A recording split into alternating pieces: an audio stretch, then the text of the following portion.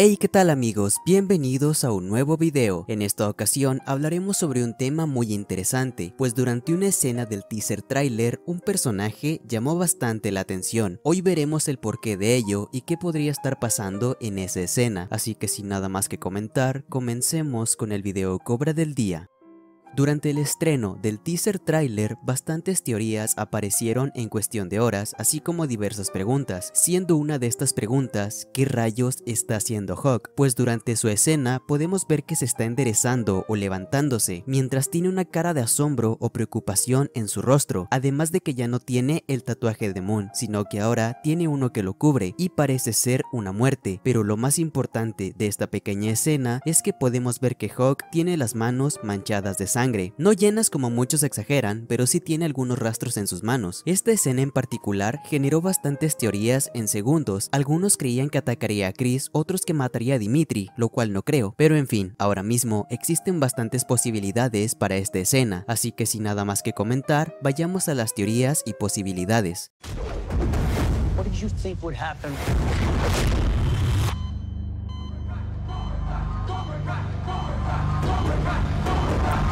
Back.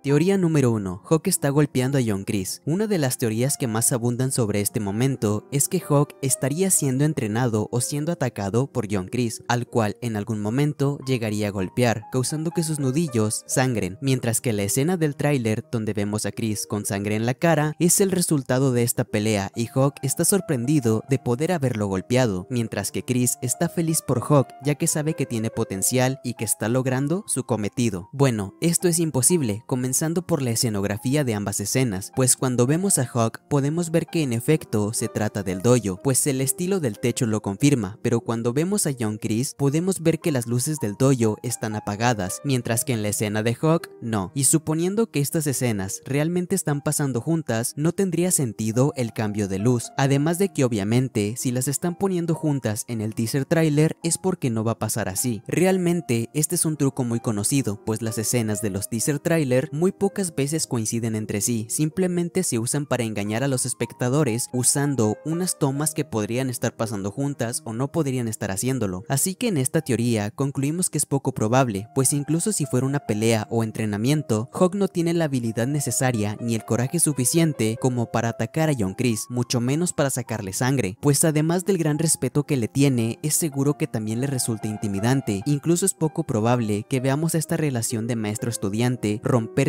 antes de la temporada 4. ¿Qué opinas de esta teoría? Deja tu respuesta en los comentarios.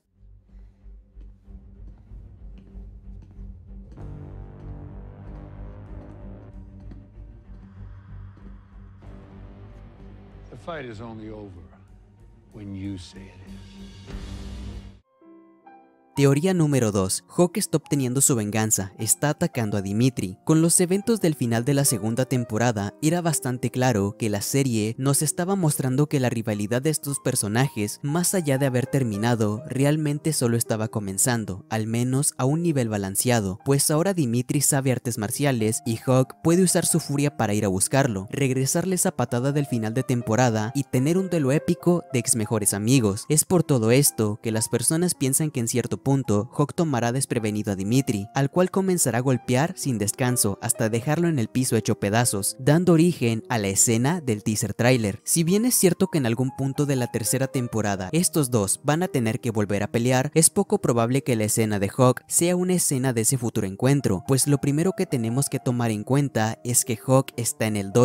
Esto lo podemos ver por el techo y la forma de vestir de Hawk. Esto ya deja a Dimitri fuera de la ecuación, pues no tiene sentido que él vaya a Cobra Kai. Aun si ahora sabe pelear, Dimitri sigue siendo un personaje miedoso y nervioso, aún tiene miedo de ser lastimado y jamás iría a un lugar donde estuviera en peligro, mucho menos un lugar como Cobra Kai, donde recibió el primer golpe de su vida por parte de John Chris. ¿Qué opinas de esta teoría? Deja tu respuesta en los comentarios.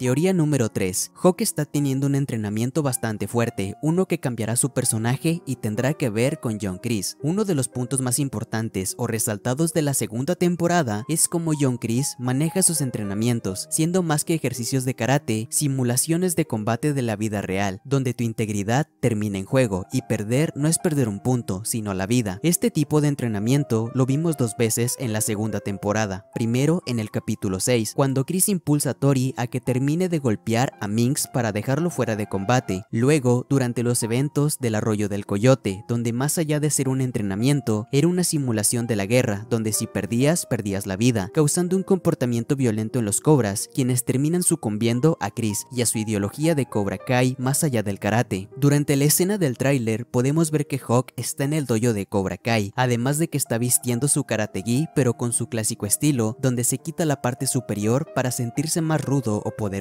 entonces es muy probable que en esta escena simplemente esté entrenando con otro cobra, y gracias a los nuevos métodos de Chris, este termine pasándose de la raya, haciendo sangrar al otro cobra, y comenzando todo lo contrario a su redención, comenzando su descenso más profundo por la oscuridad, y volviéndose el nuevo Dodge realmente. Una subteoría de esta parte es que puede que sea un entrenamiento privado de Chris y Hawk, en el cual están usando el método de Terry Silver, el Kicksilver, y haciendo lo mismo que con Daniel, Chris le diga a Hawk que rompa un muñeco de madera y metal, que tal vez tenga una fotografía de Dimitri, y mediante este entrenamiento tan fuerte, Hawk obtenga una personalidad como la de Daniel en los eventos de Karate Kid 3, más allá de simplemente ser malvado o agresivo, que despierte el instinto asesino. Lo más importante de esta teoría es que si es lo último, estaríamos ante un gran desarrollo de personaje, no para su redención, pero sí para un cambio totalmente oscuro y nuevo, además de que se comprobaría de que Terry Silver sí que tiene algo que ver con Chris y al menos se pasan ideas. ¿Qué opinas de esta teoría? Deja tu respuesta en los comentarios.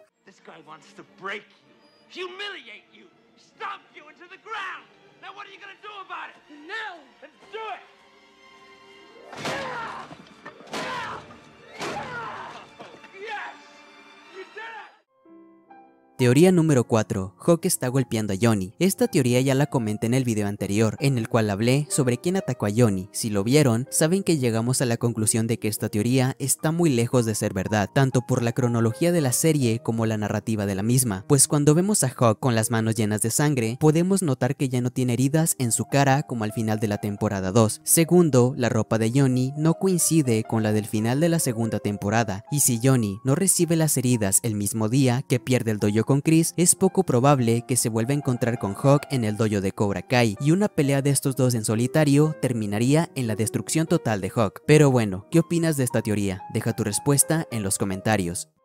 Muy bien amigos, así termina este video. No olviden suscribirse al canal, darle like y comentar el video. Sin nada más que mencionar, se despide de ustedes Borealis Christoph. Un saludo y hasta la próxima. Y recuerden, no mercy.